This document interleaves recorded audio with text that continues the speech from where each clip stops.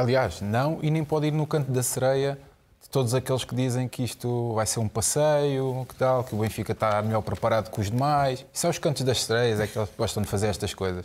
Os jogadores têm que se manter focados, acima de tudo, fazer o seu, o seu percurso normal. Eu acho que Bruno Lage eh, já provou que também é um treinador com os pés bem assentes na terra e percebe muito bem as dificuldades do campeonato.